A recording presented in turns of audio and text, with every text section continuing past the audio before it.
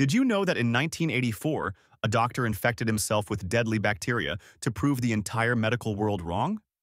Dr. Barry Marshall was a young Australian gastroenterologist who discovered something shocking. For decades, doctors blamed ulcers on stress and spicy food.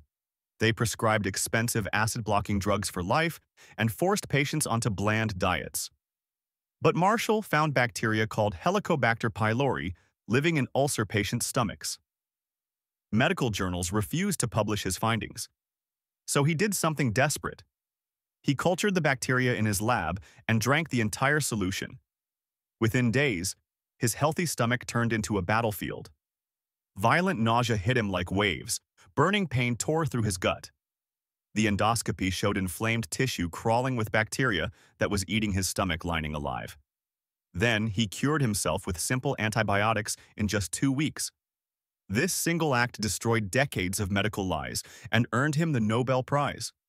The real cause wasn't lifestyle, it was infection,